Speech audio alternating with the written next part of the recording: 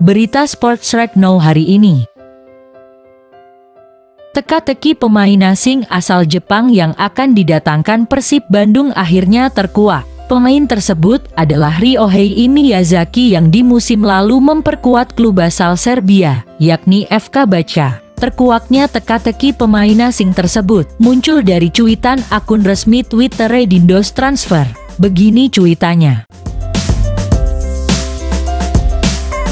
Rumors Nama pemain serba bisa di posisi penyerang asal Jepang, Ryohei Miyazaki, umur 26 tahun, dikaitkan dengan Persib. Miyazaki sebelumnya bermain untuk klub kasta tertinggi Liga Serbia, Baca. Cuitan itu diposting melalui akun Twitter Indos Transfer pada tanggal 10 Mei 2022. Selain itu, Ryohimi Yazaki juga dikabarkan telah memfollow akun resmi Instagram Persib Bandung.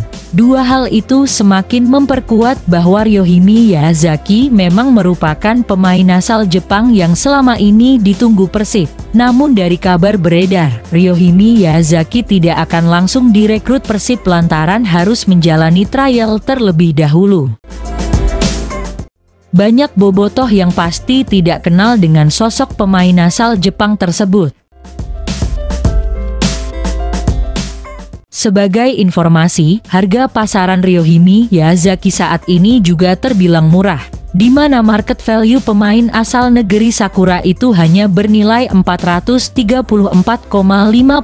juta rupiah. Market value tersebut terbilang kecil untuk ukuran sekelas pemain Jepang dan bahkan masih kalah jauh dari nilai para pemain lokal di Liga Indonesia.